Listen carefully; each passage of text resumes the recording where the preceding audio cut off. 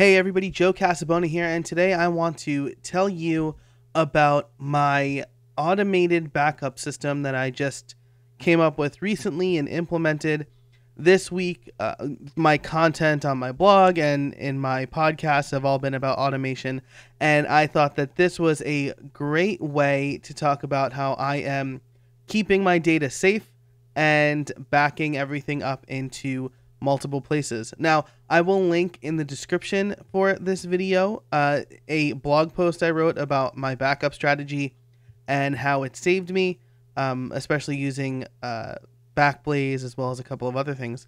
Um, but the general idea behind backup, a common strategy is the 321 strategy. You should have three backups uh, on two different mediums, and one should be off site. But I'm going to walk you through my strategy, which is a little bit more complicated than uh, what most people need. But because of some issues I've had in the past, uh, I decided to kind of go all out here. So you can see a diagram on the screen here. Uh, in the center is my iMac Pro. This is where I get all of my work done. This is a one terabyte iMac Pro. So part of the reason I have a involved backup strategy is because I'm only really keeping the files I need on my iMac Pro. Uh, technically, my Dropbox account has more space than my actual computer. And uh, when you're working with videos, you can lose that space pretty quickly. So, what let's follow the black line first. That is the easiest one to follow. Uh, I have a 12 terabyte external hard drive. The Western Digital Elements is the one I went with. I liked that because it was slightly cheaper than uh, the MyBook brand, and I didn't need any of the extra bells and whistles because what I did was I broke this up into two different partitions, uh, which means I essentially took this hard drive and separated it into two separate hard drives as far as the computer. Essentially, my Mac sees this 12 terabyte hard drive as two different hard drives. One is an 8 terabyte hard drive, which is where the time machine backups go. This is more than enough space.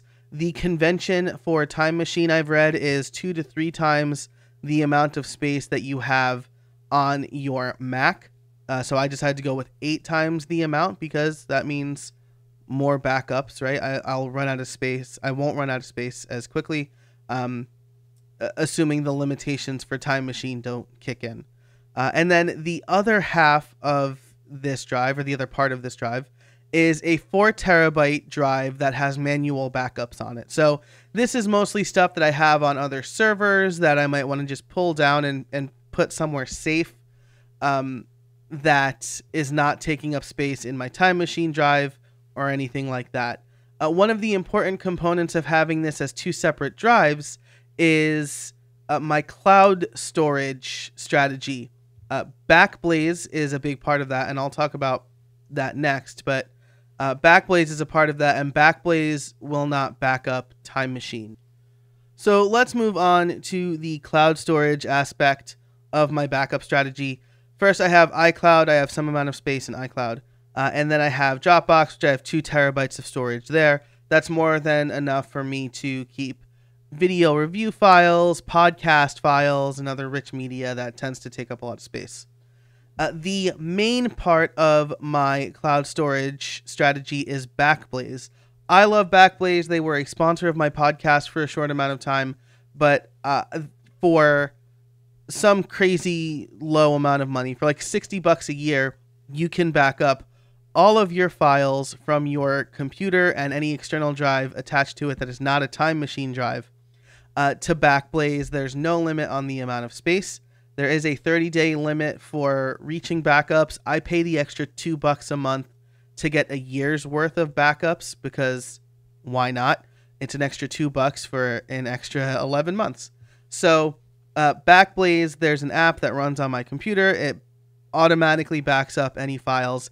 This has saved me more than once, like with podcast interviews, with pictures I thought I had backed up that weren't on Time Machine or weren't somewhere else. So Backblaze, I can't recommend it enough. I'll have a link to that in the description for this video as well.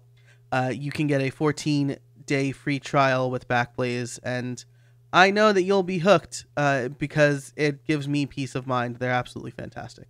And then finally, the third part is this blue section over here.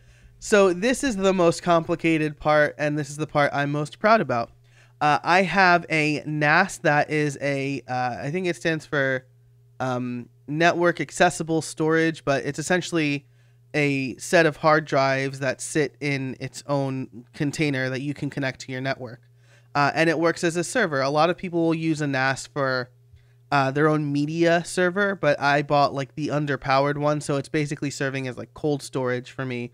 I've got four uh, terabytes in there, and what I do is I have a Hazel script run every day uh, to check for sp- files specifically in my videos folder uh, that haven't been opened in the last 30 days. And if they have not been opened in the last 30 days, then move those files to the NAS and delete them off my hard drive. So uh, this is great because it essentially creates cold storage for old video files. Uh, and I know that even if this part happens to fail for some reason, uh, the files are still on Backblaze and in Time Machine, but they're not taking up space on my hard drive, and those videos are the things that take up the most space on my hard drive. So I'm going to X this out, and I'll kind of show you what I've got going on here in these two windows. So first of all, uh, you can see all three of the drives that I mentioned here. This is the Time Machine drive. Uh, it is an 8 terabyte partition on the 12 terabyte elements. Uh, and then there's the general storage. Again, you could see that is a 4 terabyte non time machine drive on the 12 terabyte uh, hard drive. And then the NAS. So the NAS is uh, accessed via the network. That's what this little icon means. And this is, again, just cold storage for me.